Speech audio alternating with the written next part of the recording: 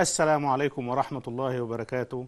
أعزائي طلبة وطالبات دبلوم المدارس الثانوي الصناعي تخصص التبريد وتكييف الهواء أهلا ومرحبا بكم في حلقة جديدة من سلسلة حلقاتنا عن تدريس مواد تخصص التبريد وتكييف الهواء. وبرنامجكم المفضل في بيتنا مدرسة.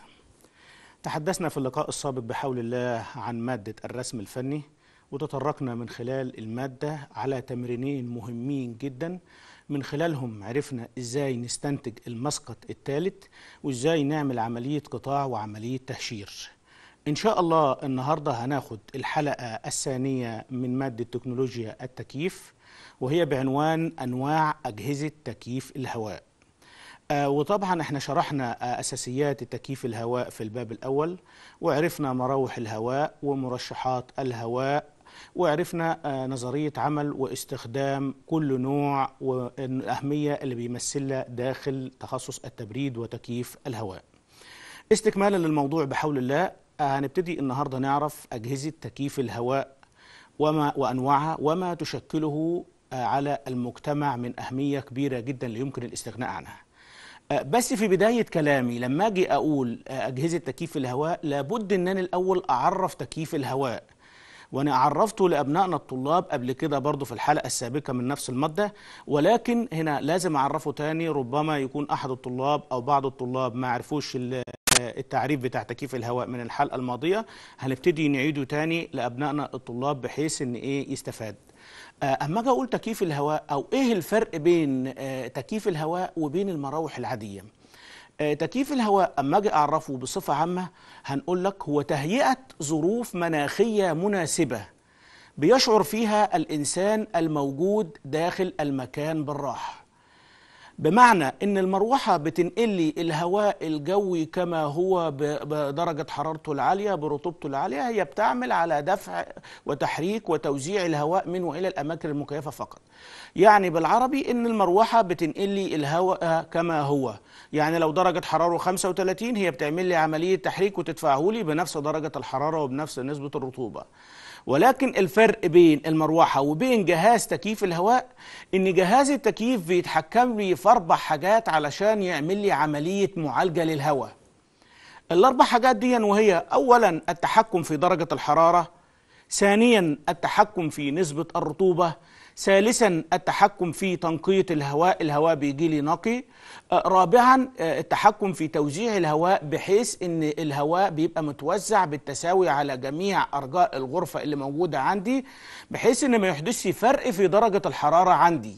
يبقى لازم نبقى إحنا عارفين إن الفرق بين جهاز التكييف وبين المراوح العادية إن جهاز التكييف بيعمل عملية معالجة للهواء والمعالجة هي الأربع طرق اللي أنا لسه شرحها لحضراتكم دلوقتي. أو اللي إحنا لسه ذاكرينها لحضراتكم دلوقتي وإحنا شرحناها وتطرقنا لها بالصف الثاني بالتفصيل بحول الله. طيب هندرس إيه في موضوع حلقتنا النهارده بعد ما عرفنا تكييف الهواء؟ انواع اجهزة التكييف على حسب السعة بصفة عامة. أنا عندي نوعين أساسيين وهي الوحدات أو يمكن تصنيف أجهزة تكييف الهواء طبقا لساعات التبريد إلى. رقم واحد وحدات مجمعة في المصنع. ودي طبعا منها اللي هي تكييف الشباك ومنها اللي هي تكييف ال split أو التكييف المجزأ ومنها أيضا اللي هو الوحدات المجمعة ومنها أيضا اللي هي المضخات الحرارية وهنتناولها بالتفصيل إن شاء الله.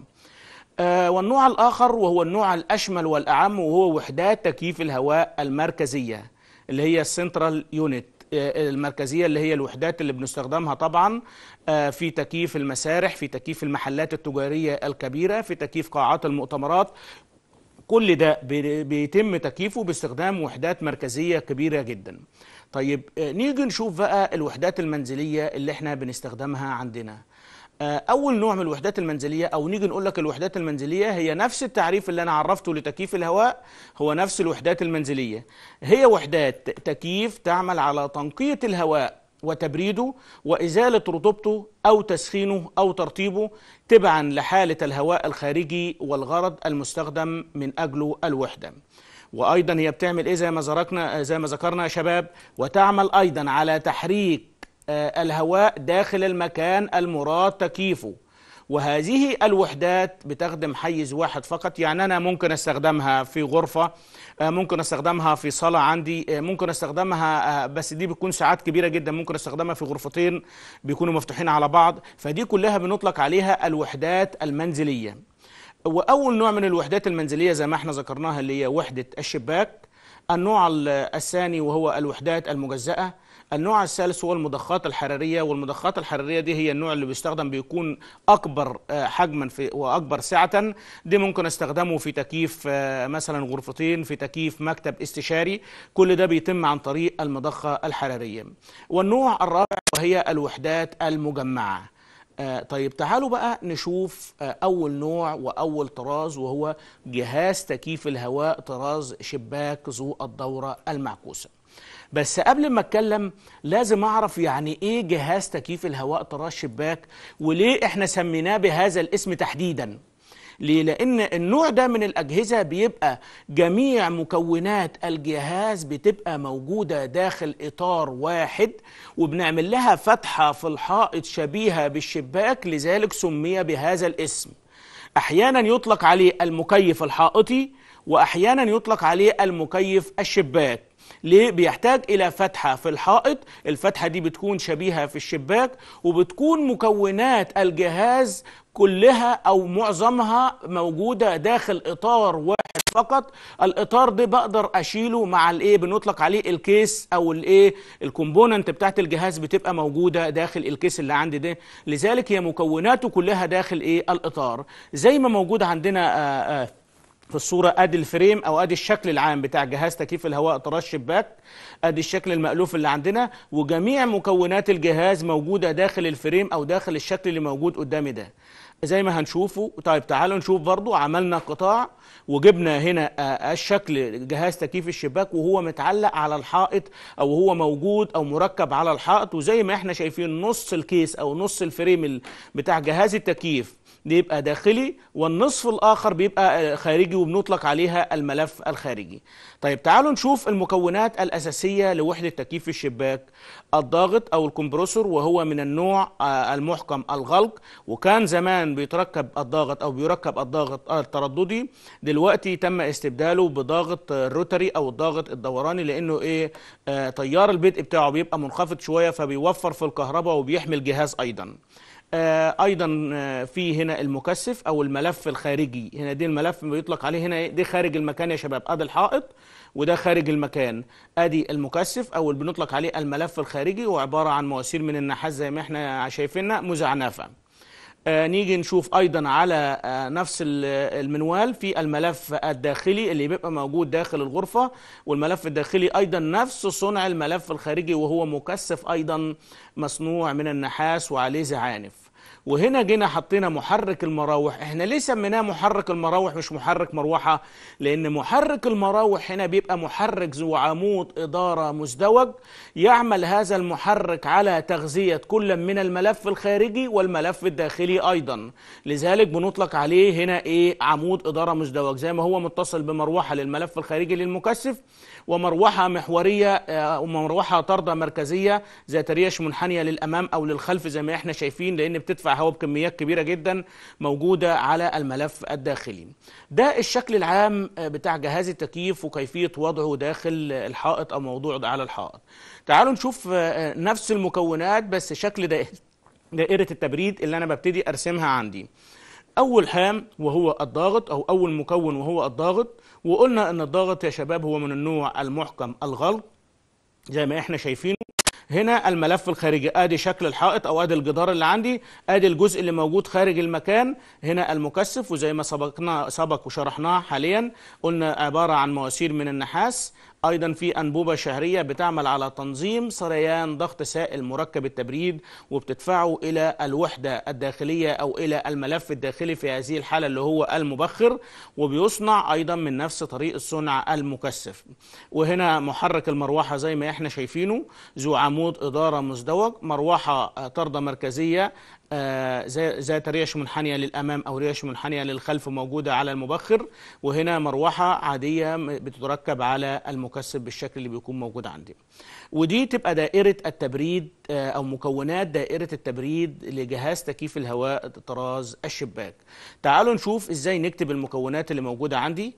آه، رقم واحد الضاغط والضاغط وهو من النوع المحكم الغلق. آه، الملف الخارجي وقلنا في الحالة دي بيعمل كمكثف وأيضا ممكن يعمل كمبخر زي ما هنشوف. آه، يعني إحنا بنقول هنا دورة معكوسة زي ما هنيجي لها دلوقتي وهنشرحها بالتفصيل. فبيعكس يبقى ممكن يكون الملف الخارجي ده مبخر أو ممكن يكون الملف الخارجي ده مكثف. الملف الداخلي وهو أيضا من النوع المزعنف بنفس طريقة صنع الملف آه، آه، الداخلي أو الخارجي.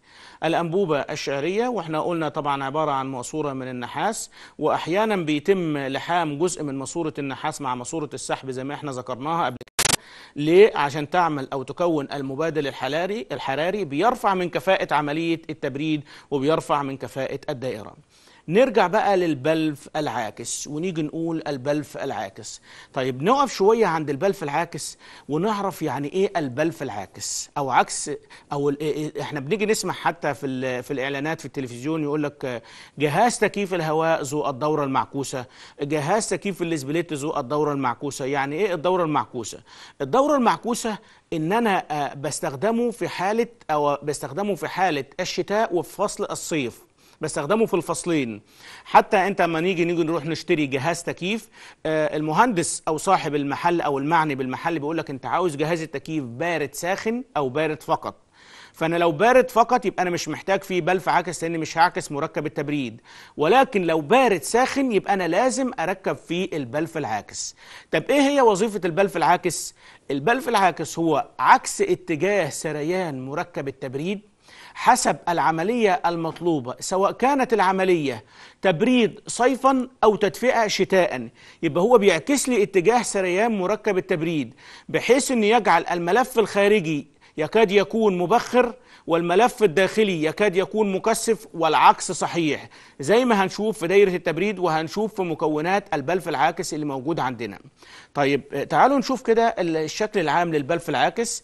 أدي شكل البلف العاكس هو عبارة عن ماسورة أسطوانية أو شكل أسطواني من النحاس بيركب عليه يا شباب أربع مواسير أو أربع ماسورات زي ما إحنا شايفين. الماسورة اللي من أعلى دي دائما وابدا بتتصل بمحرك الضاغط وهي تعتبر خط الطرد اللي بيوصل من الضاغط إلى البلف العاكس زي ما هنشوف. في ماسورتين إحداهما توصل للملف الداخلي والأخرى توصل للملف الخارجي والماسورة اللي هي في الوسط دي مباشرة دائما بتبقى بتوصل لخط الراجع المتصل بمحرك الضغط. طيب تعالوا نشوف الشكل العام تفصيلا شوية. أهو آدي الملف الأسطواني اللي بيكون موجود عندي أو عبارة عن أسطوانة من النحاس. الأسطوانة دي بيتحرك عليها ده من داخلها. جزء منزلق. الجزء المنزلق ده فيه موجود جواه قلب حديد يا شباب. القلب الحديدي ده بيوصل لي نقطتين مع بعض ويعزل لي نقطة. يعني لو جيت أبص على سبيل المثال أنا سمينا هنا أدي ال A وال B وال C ثلاث مواسير موجودة عندي. طبعا الماسورة اللي من أعلى متصلة مباشرة بخط الطرد اللي هو من المحرك الضاغط. والماسورتين دول واحدة متصلة بالملف الخارجي اللي إحنا كاتبين هنا المكثف والأخرى متصلة بالملف الداخلي واللي هو موجود هنا إيه؟ المبخر. طب أما أجي أقول الملف الداخلي المبخر يبقى لازم أعرف إن الملف الداخلي يبقى أنا هنا بستخدم البلف العاكس في عملية التبريد صيفا لأنني وجدت داخل الغرفة الملف الداخلي اللي هو البارد أو ذو درجة الحرارة المنخفضة. يبقى دي إيه؟ تبريد صيفا. وأيضا يتكون من ملف كهربي. الملف الكهربي ده يا شباب فيه بلف مرشد. البلف المرشد ده هو اللي بيتحكم في المكبس والجزء المنزلق اللي موجود داخل البلف العاكس بحيث إنه يوصل لي نقطتين مع بعض ويفصل لي نقطة أو يوصل لي مثلا الماسورة ال C وال B ويفصل لي ال A كما هو موضح قدامي بالرسم أو يوصل لي ال B وال A ويفصل لي ال C زي ما هنشوفه بعد كده إن شاء الله. ومجموعة من المواسير الشعرية متصلة بالبلف المرشد. متصلة بإيه؟ أطراف البلف العاكس. دي بتساعد على بتساعد الجزء المنزلق على عملية إيه؟ تحريكه عن طريق الضغوط. طيب تعالوا بقى نشوف الصمام بيتكون من إيه زي ما إحنا ذكرناه. جسم الصمام الرئيسي وهو الجزء المنزلق كالبستم اللي هو بيتحرك حركة عشوائية من اليمين إلى اليسار والعكس. اسطوانة بها ثلاث مخارج في جهة ومخرج آخر في جهة الأخرى المقابلة. آه، أيضا تعالوا نشوف الوصلات اللي متصله بالبلف العاكس. آه، وصلة أولا فيها طبعا إحنا قلنا عبارة عن مجموعة من الوصلات. أولهما وصلة عبارة عن ماسورة آه، تصل بين الضاغط والفتحة الوحيدة الموجودة بأحد جانبي الأسطوانة. الوصلة الوسطى وهي على الجانب الآخر الموجودة بها ثلاث فتحات تتصل بفتحة الراجع للضاغط. وصلتان تتصلتان بالملفين اللذين يعملان على كل منهما كمكثف والآخر كمبخر كما سبق آه، ذكره وكما سبق شرحه.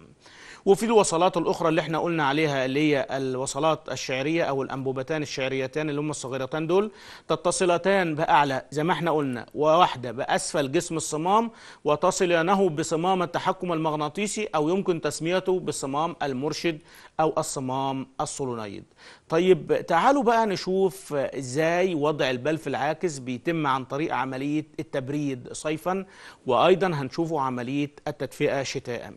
زي ما إحنا شايفين كده يا شباب أدي وضع البلف العاكس موجود أمامي.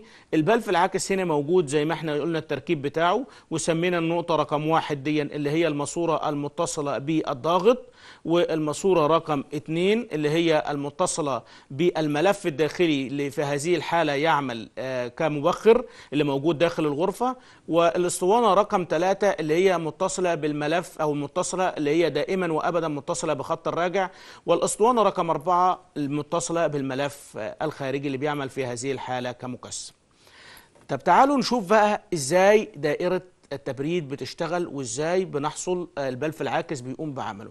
أثناء عملية التبريد بيقوم آه، صيفا يقوم الملف الكهربي والبلف المرشد اللي موجود قدامي ده يا شباب بإيه؟ بتحريك الجزء المنزلق ليتم توصيل النقطتين اتنين وتلاتة معا.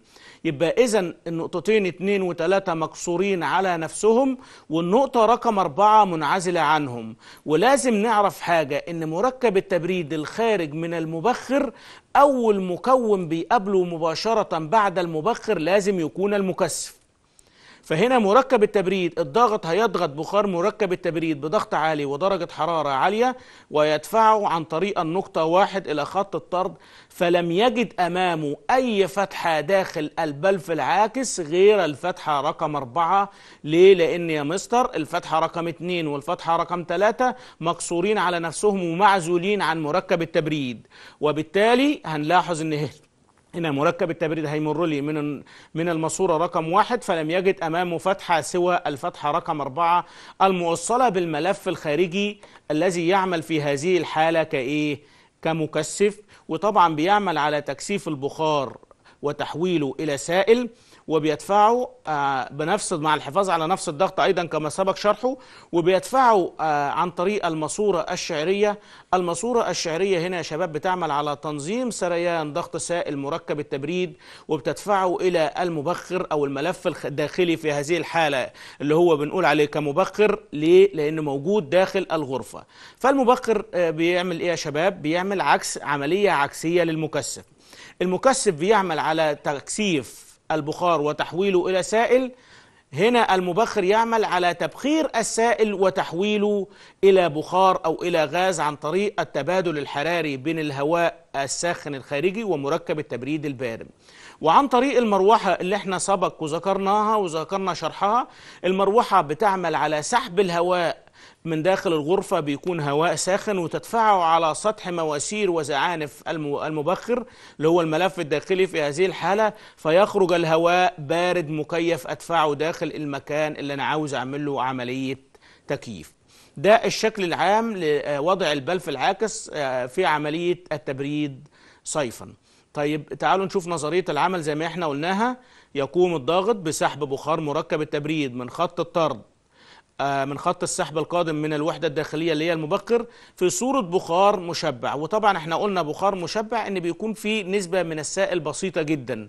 فطبعا الضاغط بيضغطه ويحوله إلى حاجة بخار محمس يعني نسبة البخار بتكون فيه 100 في المئة. يبقى لازم نعرف الفرق بين البخار المشبع والبخار المحمص. البخار المشبع هو بخار بيكون فيه نسبة بسيطة جدا. من آه، آه، من الماء أو من السائل تكاد تكون 10% تكاد تكون 5% 5% ولكن البخار المحمص بيكون بخار 100% بينما البخار المشبع بيكون بخار 90 أو 95% فبدور الضاغط بيضغط البخار اللي عندي بضغط عالي ودرجة حرارة عالية ويدفعه إلى المكثف كما سبق آه، ذكره. المكثف بيحافظ على نفس الضغط ودرجة الحرارة. يبقى يهمني بس أبنائنا الطلاب يعرفوا الفرق بين البخار المشبع والبخار المحمص وهنتطرق له إن شاء الله مرارا وتكرارا في الحلقات القادمة بإذن الله. طيب هنا يبقى بخار مشبع بضغط منخفض ثم يضغطه إلى الوحدة الخارجية اللي هي المكثف في صورة بخار محمص ذو ضغط مرتفع ودرجة حرارة مرتفعة حيث يتبادل الحرارة مع الهواء الجوي جبريا بواسطة مروحة فيتم تكثيف بخار مركب التبريد ليتحول إلى سائل ذو ضغط عالي ثم يمر خلال الماسورة الشعرية. وطبعا زي ما ذكرنا لأبنائنا الطلاب المفروض إن إحنا نكون حفظنا نظرية العمل من خلال وظيفة كل مكون من مكونات الدايرة السابق ذكرها. يبقى هنا الماسورة الشعرية تعمل على انخفاض ضغط وتنظيم سريان السائل وتدفعه إلى المبخر في صورة سائل آه، مرزز ليدخل المبخر ويقوم بعمله اللي هو تبخير السائل آه، وتحويله إلى غاز ذو ضغط منخفض ودرجة حرارة منخفضة. طيب تعالوا نشوف الطريقة الأخرى وهي نظرية عمل آه، الدائرة في حالة التدفئة. يبقى إحنا ذكرنا آه، نظرية العمل في حالة التبريد صيفا. هنشوف بقى إن شاء الله حاليا الفرق بين التبريد صيفا وبين التدفئة شتاء ووضع البلف العاكس بيكون وضعه إزاي في كلتا الحالتين السابق ذكرهم. طيب نشوف هنا أول حاجة البلف العاكس إحنا كنا ذكرنا في العملية السابقة إن البلف العاكس أو الجزء المنزلق كان حصل له إيه يا شباب؟ كان قافل النقطة اتنين والنقطة تلاتة وكانت النقطة أربعة هي الايه ال free زي ما إحنا بنقول. ولكن هنا البلف المرشد والملف الكهربي بيحرك الجزء المنزلق عندي ليتم قفل أو الجزء أو القلب الحديدي بيقفل النقطتين تلاتة وأربعة معا وبتكون النقطة هنا رقم اتنين هي الفري. وزي ما إحنا متفقين إن مركب التبريد الخارج من خط الطرد اول مكون بيقابله بعد الخروج من الضاغط لابد أن يكون المكثف. فسواء كان المكثف ملفا داخليا أو ملفا خارجيا هو أول مكون بعد الضاغط بيستقبل مركب التبريد ذو الضغط المرتفع ودرجة الحرارة المرتفعة.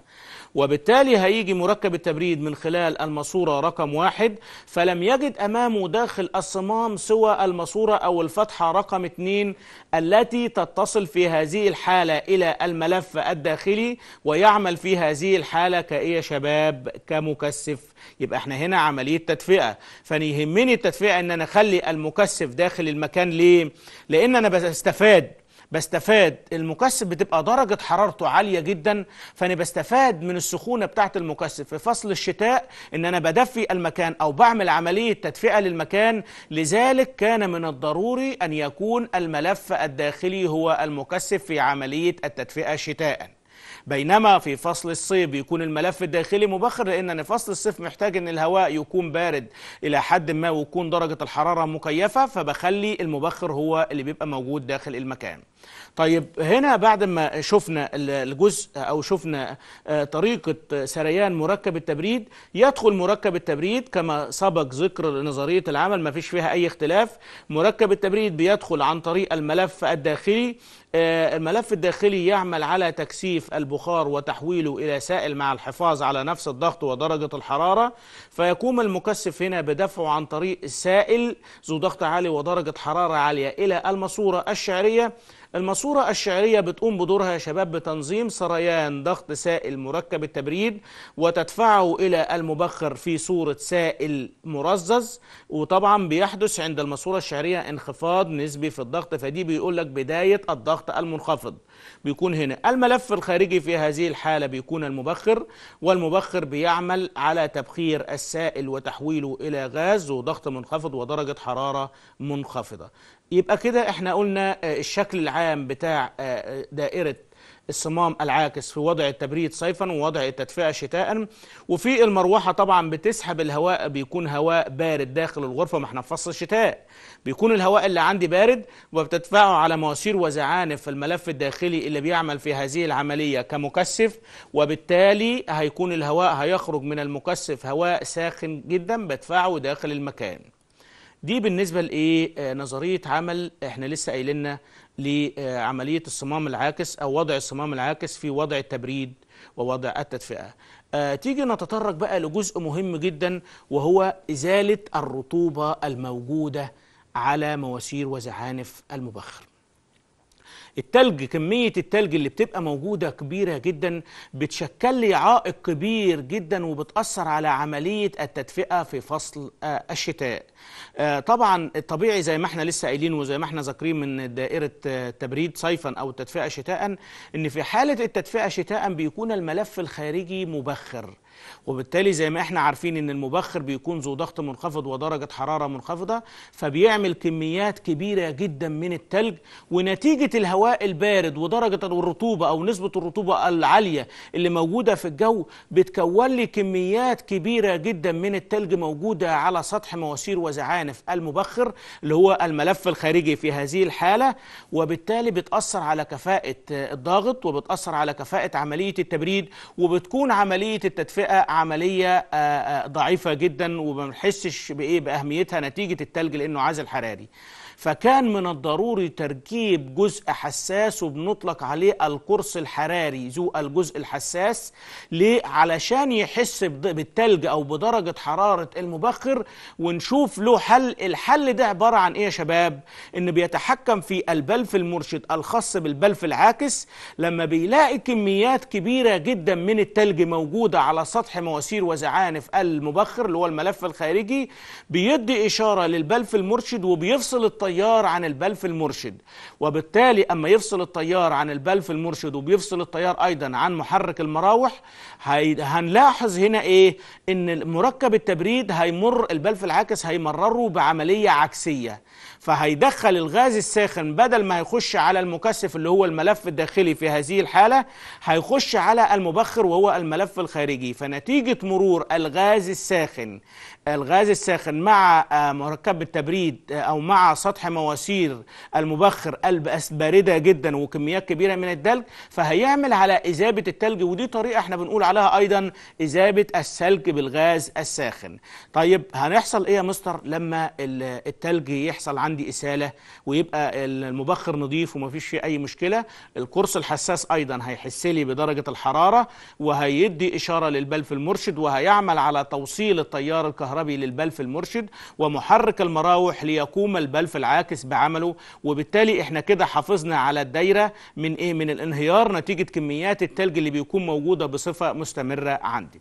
هو ده القرص الحساس اللي إحنا بنذكره زي ما إحنا شايفين هو الشكل اللي عامل اللي عندي هون وهو يا شباب متصل بمواسير وزعانف المبخر. بس طبعا في عملية التلج بيبقى الجزء ده كله من المواسير ما بيبقاش باين قدامنا كده ده بيبقى متغطي كله بالتلج أو متغطي معظمه بالتلج.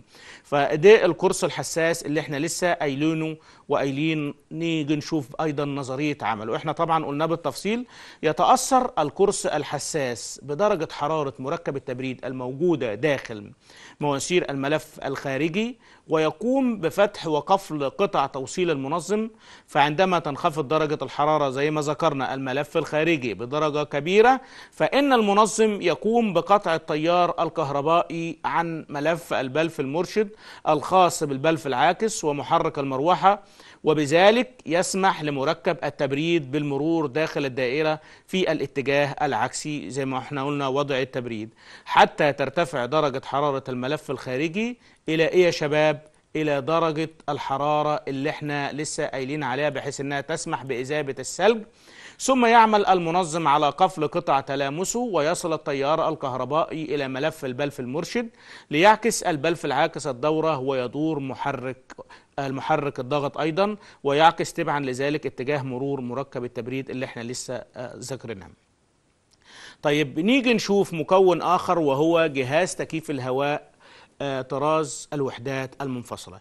يبقى إحنا هنا ذكرنا جهاز تكييف الهواء الشباك عرفنا تركيبه عرفنا نظرية عمله عرفنا آه، آه، أهم مكون من مكوناته هو البلف العاكس وإزاي بيحول من عملية التبريد إلى عملية التدفئة والعكس صحيح. هنشوف مكون آخر وهو أشهر أنواع أجهزة التكييف على الإطلاق وهو لما يتمتع به من مميزات كبيرة جدا بيصعب الحصول على كل هذه المميزات في أنواع أجهزة التكييف الأخرى. ألا وهو جهاز تكييف الهواء المنفصل أو جهاز تكييف الهواء المجزأ أو زي ما بنطلق عليه جهاز تكييف الهواء ال split. وده طبعا بيتكون من وحدتين. هنا آه، بيختلف عن جهاز تكييف الشباك. الشباك ال component أو المكونات كلها بصفة عامة بتكون داخل إطار واحد. الإطار واحد ده بيبقى موجود داخل كيس. إنما هنا بيبقى موجود جزئين. زي ما إحنا قلنا ما إحنا قلنا منفصل نعرف يعني إيه منفصل؟ إنه بيتكون من وحدتين. إحداهما وحدة خارجية بتركب خارج المكان خالص والأخرى وحدة داخلية بتركب داخل المكان. وزي ما هنشوف من ضمن مميزاته آه، دلوقتي له مميزات كبيرة جدا بينفرد بيها عن باقي أنواع أجهزة التكييف الأخرى. زي ما إحنا شايفين أدي الشكل العام هنا يا شباب. أدي الوحدة الخارجية اللي هي عبارة عن بتتكون من الضغط والمكثف زي ما هنشوف في نظرية العمل وهنشوف في المكونات. وهنا أيضا الوحدة الداخلية اللي هي بتغذي المكان وبنطلق عليها بالعامية اسمها الفانة أو المبخر والوحدات الخاصة بالمبخر. طيب تعالوا نشوف آه، مكونات الدائرة الميكانيكية ووظيفة كل جزء. آه، هي طبعا إحنا قلنا لأبنائنا الطلاب مرارا وتكرارا اللي يحفظ مكونات أي دائرة تبريد هيعرف يقول نظرية العمل بكل سلاسة وبكل يسر. وبالتالي نظرية العمل مش هتختلف لأن المكونات معظمها هي نفس المكونات ولكن هو الشكل في وضع المكون أيضا فقط. الضغط وهو من النوع المحكم الغلق وطبعا هنا زي ما إحنا قلنا الضغط آه، في بعد الضغط على طول مباشرة المكثف والمكثف هو من النوع المزعنف والمدفوع بواسطة مروحة أيضا. آه، نيجي من هنا طبعا دي الوصلات المتصلة بالوحدة الداخلية والوحدة الخارجية ده آه، جدار الحائط وده اللي موجود آه، خارج المكان وده اللي موجود داخل إيه المكان. هنا في الوحدة الداخلية بتتكون من إيه؟ بتتكون من المبخر والمروحة الخاصة بالمبخر وموجهات الهواء وفلاتر الهواء اللي بتعمل على توزيع الهواء داخل المكان وأيضا في مكونين هنا آه، المبادل الحراري كما سبق ذكره أيضا إنه بيعمل على رفع كفاءة عملية التبريد آه، وفي أيضا جزء جديد وهو مجمع السحب. مجمع السحب يا شباب آه، له فايدة كبيرة جدا بتعمل على حماية الضغط وحماية دائرة التبريد بصفة عامة. طيب ليه؟ ليه هو بيعمل على حماية الدائرة؟ لأن المجمع إحنا يهمني جدا إن مركب التبريد الداخل إلى محرك الضغط يكون في صورة غاز 100% لأن لا يجوز على الإطلاق كما ذكرت مرارا وتكرارا مرور مركب التبريد في صورة سائل أو جزء حتى من السائل إلى الضاغط لأنه بيعمل على تلف البلوف الداخلية اللي موجودة داخل محرك الضاغط ليه؟ لأن السائل زي ما إحنا عارفين غير قابل للانضغاط وبالتالي أنا مش هعرف أضغط السائل فيهمني إن يدخل لي مركب التبريد في صورة غاز 100% طب إحنا حطينا المجمع علشان الوظيفة المهمة دي ليه؟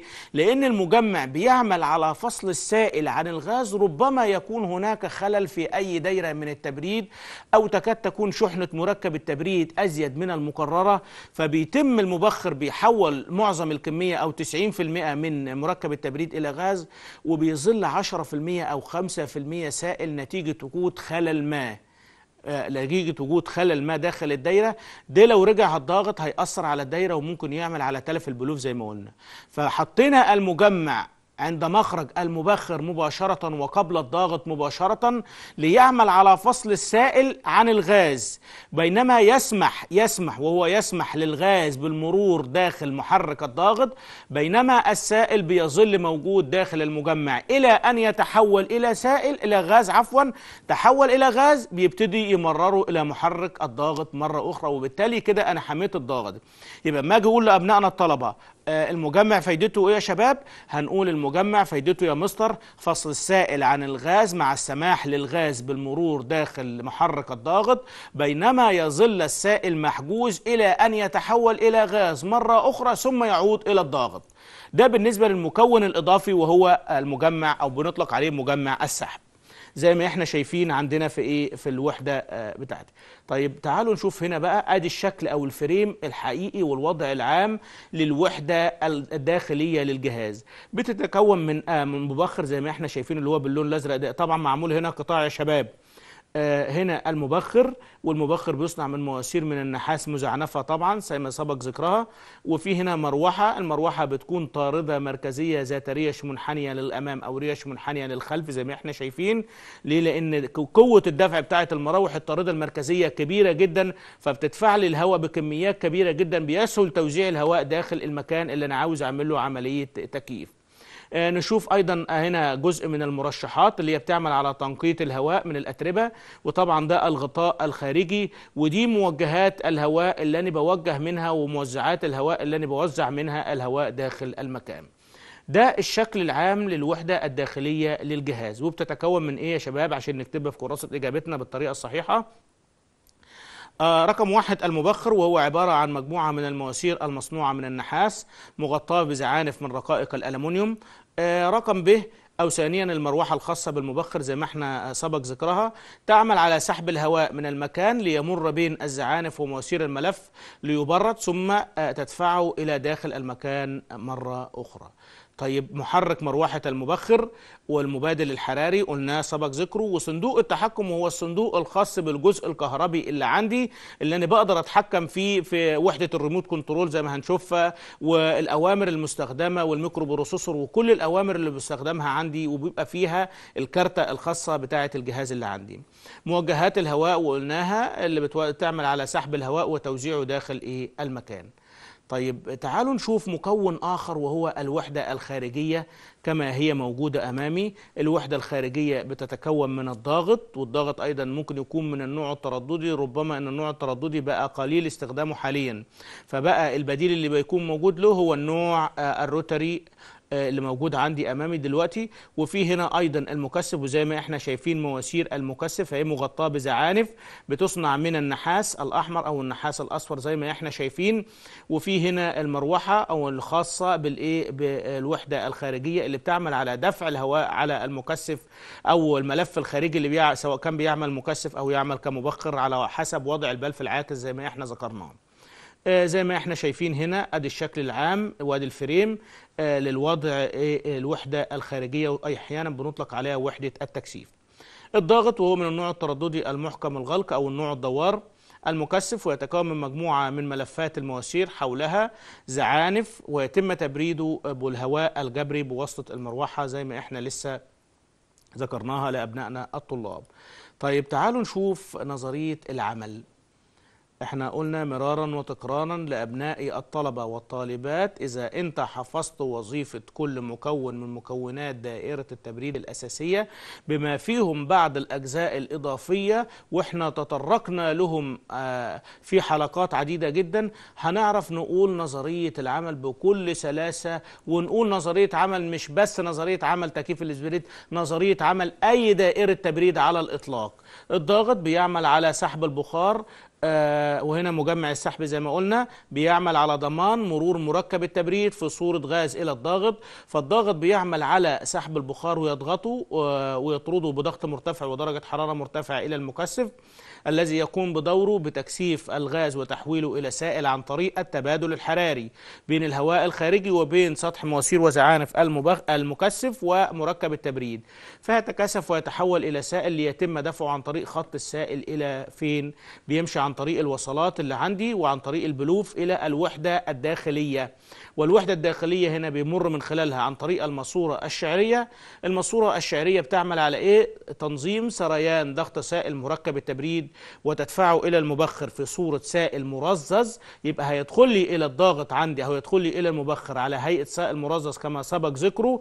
فالمبخر هيعمل على تبخير المبخر هيعمل على تبخير السائل وتحويله إلى غاز وعن طريق المروحة الطاردة المركزية هتقوم بسحب البخار اللي بيكون موجود هتقوم بسحب الهواء الهواء بيكون بقى طبعا ساخن هتقوم بسحب الهواء ودفعه على مواسير وزعانف الوحدة الداخلية اللي بتعمل كمبخر فهيخرج الهواء بارد مكيف داخل المكان. ده بالنسبة لإيه؟ لنظرية العمل وطبعا إحنا ذكرناها. نشوف أيضا آه، مميزات جزء مهم جدا وبيجي لا يخلو منه الامتحانات وهي مميزات وحدات تكييف الهواء المنفصلة. آه، رقم واحد ذو قدرات أكبر من تكييف الشباك. إحنا قلنا إن تكييف الشباك آه، هنا ممكن ممكن تكييف الشباك يا شباب ال maximum عندي أو ال capacity بتاعته ما بحبش أكبرها لأن بتكبر في الحجم الكبير بتاع الجهاز. لذلك لذلك هو بيبقى عشان المكونات كلها داخل frame واحد فبنلاقي ال maximum إلى حد ما وقد يكون أكبر أو أقل يصل إلى 3 حصان بعد كده بتلاقي العملية بايخة بالنسبة لأجهزة تكييف الشباك. هنا ده قدرته ممكن تصل إلى 5 حصان وإلى 6 حصان. آه، بالإضافة إلى هنا عزل هنا آه، عزل الوحدة الخارجية عن الوحدة الداخلية وبالتالي الوحدة الخارجية بيكون فيها الضاغط والمكثف آه، أو وحدة التكثيف بمعنى أصح اللي هي بتطلع لي حرارة وبتطلع لي صوت عالي وضوضاء بتكون موجودة خارج المكان وبالتالي ما فيش ضوضاء بتكون موجودة داخل المكان من الجهاز ده بيبقى تشغيله زي ما أكون مشغل مروحة عادية ما فيش فيها أي مشكلة نهائي. آه، أيضا هنا سهولة التركيب آه، والتشغيل والصيانة. يعني طبعا لما أجي أعمل له عملية صيانة بتبقى صيانته سهلة جدا. ليه؟ لأن كل مكون كل مكون بيبقى موجود آه، في مكون داخلي ومكون خارجي فبسهل أتعامل مع كل مكون آه، على حدة. أيضا هذه الأجهزة لا تحتاج إلى فتحات كبيرة جدا إلى الحائط كما في تكييف الشباك ولكن تحتاج إلى فتحة صغيرة جدا في الحائط. الفتحة الصغيرة دي تعمل آه، تكفي لإمرار حزمة المواسير والوصلات الكهربية اللي بيكون موجودة عندي. بس ما فيش فيها أكتر آه، من كده. بالإضافة إن الوحدات المجزأة بتصنع بأشكال وأحجام بتناسب الديكورات حاليا في الوقت الحالي.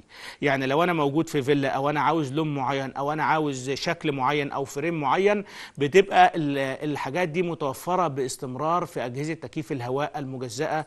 كما أيضا لها مميزات عديدة إن يوجد منها النوع السقفي اللي بيركب في سقف الغرفة اللي بيكون موجوده عندي وبتتوفر بألوان وأشكال وأحجام مختلفة.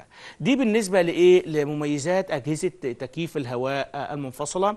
ذو قدرات أكبر زي ما إحنا قلنا سهولة أعمال التنظيف والصيانة سهولة توزيع هواء الغرفة حسب الرغبة انخفاض مستوى الضوضاء زي ما إحنا قلنا الوحدات الداخلية بتاخد أشكال متعددة بما يتناسب مع التصميم المعماري داخل المكان عدم الحاجة إلى عمل فتحات كبيرة في الحائط إمكانية وضع الوحدة الداخلية داخل ممر لتوزيع الهواء على أكثر من غرفة إمكانية توصيل أكثر من وحدة داخلية في نفس المكان مع وحدة خارجية واحدة. يعني أنا ممكن أوصل وحدة خارجية آه، خارج المكان وأوصل وحدتين داخليتين أحطهم في مكانين مختلفين بس طبعا كلما ده بيأثر على العمر الافتراضي. لوحدة الت... بيأثر على العمر الافتراضي للكباس اللي بيكون موجود عندي. ليه؟ نظرا لأن وجود وحدتين ه... الضاغط أو الكباس هيشتغل فترة أطول من اللازم وتشغيله فترة أطول من اللازم بيقلل من العمر الافتراضي للإيه؟ للضغط. لذلك هي هي لها ميزة بس بتقلل وطبعا أحيانا بيكون طول المواسير زي ما هنذكر في العيوب. طول المواسير المتصل بين الوحدة الداخلية والخارجية أحيانا في بعض الأحيان بيتعدى 10 متر أو 7 متر فده بيأثر على كفاءة عملية التبريد داخل الدايرة. دي بالنسبة للمميزات الخاصة بالوحدات آه، تكييف الهواء المنفصلة. طيب تعالوا مع بعض نشوف أيضا وحدة العيوب الخاصة بوحدات تكييف الهواء المنفصلة. آدي زي ما إحنا هنشوف. عيوب وحدات تكييف الهواء المنفصلة؟ زي ما إحنا ذكرنا مقيد بطول معين لوصلات الفريون. إن لازم وصلات الفريون عندي ما تكونش طويلة أطول من اللازم عشان ما تأثرش على الدايرة. آه، صعوبة آه، في التركيب بس دي طبعا هي دي تعتبر صعوبة في التركيب في بعض الأماكن. ليه؟ لأن الوحدة الخارجية ربما ما فيش عندي شرفة أو ربما ما يكونش في عندي بلكونة فبالتالي العامل بيوجد صعوبة. ليه؟ لأن بينصب سقالة وبيبتدي يركب آه، آه، اجهزه التكييف أو الوحدة الخارجية عن طريق في الهواء مباشرة فبتبقى صعبة شوية. لا يستطيع تغذية أكثر من مبخر في غرفة متباعدة. غرف متباعدة زي ما إحنا قلنا. بتأثر على العمر الافتراضي وبتأثر على إيه؟ ضخ الضغط للفريون عن طريق الضغط. والوصلات مقيدة بطول معين للحفاظ على جودة الأداء للدائرة. وطبعا ارتفاع تكاليف التشغيل هو طبعا آه، النوع ده من أجهزة التكييف على قد ما إنه ممتاز جدا ومريح جدا ومعظم الناس بتستخدمه إلا إن نفس القدرة بالنسبة لتكييف الشباك بتكون أرخص. يعني تكييف الشباك بيكون أرخص من الناحية المادية وتكييف الاسبليت بيكون أعلى سعرا. طبعا لأعلى سعرا وده طبيعي لما يتمتع به من مميزات كثيرة جدا. ده بالنسبة لإيه؟ للعيوب الوحدات المنفصلة. طب تعالوا نشوف كده نبذة مختصرة عن وحدة التحكم في تشغيل الجهاز. زي ما إحنا شايفين وحدة التحكم في تشغيل الجهاز أو إحنا زي ما بنقول عليها الكارتة اللي موجودة داخل الجهاز اللي بتتحكم في التيار اللي داخل عندي. أدي منبع التيار والتيار داخل لي إيه يا شباب؟ 220 فولت. في هنا fuse. ال fuse ده فايدته الأساسية حماية الدايرة من الأخطاء الكهربية والأحمال الزايدة زي ما إحنا شايفينه. آه طبعا في هنا محولات وفي هنا أيضا آه محول. وشكل المحول ده يا شباب زي ما إحنا شايفينه المحول ده فايدته انه بيحول قيمة التيار اللي عندي من 220 فولت إلى 12 فولت. زي ما إحنا شايفين التيار هنا داخل كام؟ 220 فولت. يبقى الوحدة أو الدايرة الالكترونية بتخش لي 12 فولت للأجزاء اللي بيكون موجودة عندي اللي هو ال transformer اللي موجود عندي التيار ندخل على مجموعة توحيد مجموعة لها فايدة أساسية أو فايدة كبيرة جدا إيه هي الفايدة؟ إنها بتحول التيار المتغير الداخل إلى الدائرة إلى تيار مستمر زي ما إحنا شايفين التيار هنا مكتوب إيه؟ AC معناه تيار متغير يا شباب ولكن بعد مجموعة التوحيد اللي تطرقنا لها في مادة تكنولوجيا الكهرباء خرج لي التيار مستمر اللي هو 12 إيه فولت أو 12 دي سي زي ما إحنا إيه شايفين مجموعة التوحيد. في هنا طبعا منظم الجهد منظم الجهد ده فايدته منظم الجهد ده فايدته الأساسية إنه بايه بينظم لي الجهد وبيضمن إن الجهد عندي يدخل إلى آه الوحدة الداخلية أو إلى ال microprocessor اللي بيكون موجود عندي هنا يخش لي تيار 5 فولت زي ما إحنا شايفين. التيار بيخش لي 5 فولت زي ما إحنا شايفين في الدايرة اللي بيكون موجودة عندي. نيجي نشوف ال microprocessor وال microprocessor ده هو العقل الإلكتروني المسؤول عن تنفيذ العمليات والأوامر اللي بتعطى لجهاز تكييف الهواء. من خلال إيه؟ من خلال ال microprocessor اللي بيكون موجود عندي ده. ليه؟ لأن هو اللي بياخد الأمر سواء كان من ال remote control أو سواء كان عملية تبريد صيفا أو تدفئة شتاء أو نوع العملية بياخد الأمر من ال remote control وهو بيحولها وبيتعامل مع الجهاز على هذا الأساس. لذا لذا فله أهمية كبيرة جدا داخل الدايرة وهي أهميته الأساسية إن أنا أحافظ أو أحول الأوامر اللي بيكون موجودة عندي سواء كان من ال remote control أو سواء كان من حالات التشغيل إلى أوامر بستخدمها داخل إيه الجهاز. ودي أيضا مجموعة ريليهات زي ما إحنا شايفين. مجموعة الريليهات ده هي زي ما إحنا شايفينها يا شباب خاصة على حماية الدايرة وبتعمل على توصيل وفصل بعض أجزاء من الدايرة. وبكده من خلال وحدة تشغيل الجهاز زي ما إحنا شايفينها بقدر أتحكم في إيه يا شباب؟ بقدر أتحكم إلكترونيا في جهاز تكييف الهواء آه ال split. طبعا المصهر زي ما إحنا قلنا حماية الدايرة من الأمبير العالي ال varistor زي ما إحنا قلنا أو ال varistor حماية الدائرة من الفولت العالي أيضا المحول اللي هو تحويل الجهد من 220 إلى 12 فولت وده طبعا محول خفض. مجموعة التوحيد وتعمل على توحيد التيار أو تحويل التيار المتردد إلى تيار مستمر. وهي عبارة عن أربعة زي ما إحنا قلنا موحدات موصلين مع بعض. مكثف تنعيم طيب فايدة مكثف التنعيم ده إيه يا شباب؟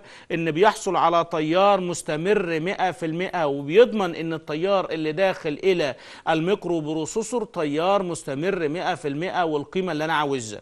منظم الفولت زي ما إحنا قلنا اللي هو ال regulator فايدته الأساسية أو اللازمة هو تشغيل ال microprocessor عندي. طب نيجي نشوف المكون المهم اللي إحنا لسه قايلينه وهو ال microprocessor. هو الجزء المخزن عليه برنامج تشغيل جهاز التكييف وهو يعمل عند كام فولت؟ عند 5 فولت كما سبق ذكره. وطبعا إحنا قلنا اللي هو مسؤول عن العمليات والمعلومات والأوامر المنطقية اللي بتعطى له لذلك وهو يستقبل المعلومات والأوامر الأوامر الواردة من المستقبل اللي هو الرسيفر إلى الحساسات. نشوف آخر مكون من الدائرة الإلكترونية وهو المستقبل. المستقبل ده عبارة عن إيه يا شباب؟ وادي الشكل العام أو الفريم. دي صورة لمكونات الأجزاء الإلكترونية أو الكارتة الداخلية اللي بيكون موجودة عندي. خلاص هنا المستقبل هو هو وحدة استقبال الإشارة من وحدة التحكم اللاسلكية الرمود.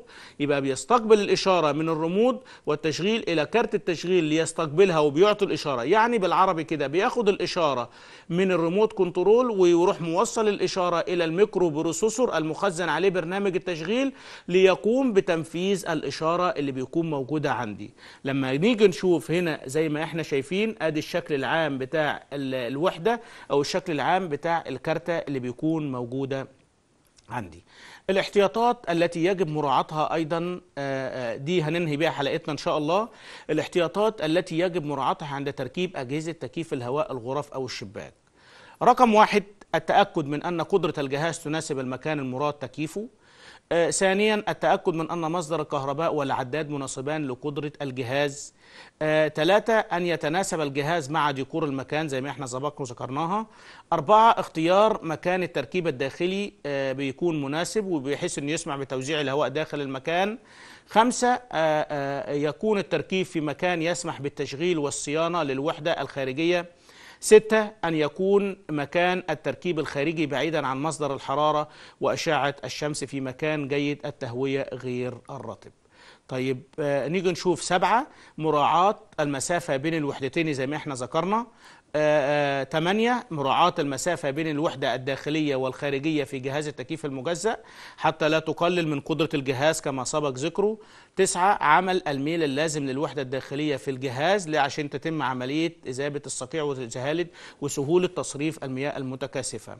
عشرة التأكد من تركيب الوحدة الخارجية التأكد من وحدة الخارجية للجهاز المجزأ في وضع آه، إيه، وضع مناسب مع تصريف المياه. وبكده آه، بالنسبة لحلقتنا النهارده إن شاء الله إحنا تطرقنا خدنا أنواع أجهزة التكييف تكييف جهاز تكييف الهواء الشباك وجهاز تكييف الهواء المنفصل وشرحنا آه، تركيب كل نوع وشرحنا أهمية البلف العاكس وشرحنا دائرة التحكم الإلكترونية وأهميتها ومميزات وعيوب أجهزة تكييف الهواء المنفصلة وشرحنا أيضا الاحتياطات التي يجب مراعاتها عند تركيب أجهزة التكييف سواء كان شباك أو تكييف منفصل. أتمنى من أبناء الطلبة إن شاء الله إنهم يكونوا استفادوا من الحلقة. على أمل أن نلقاكم إن شاء الله.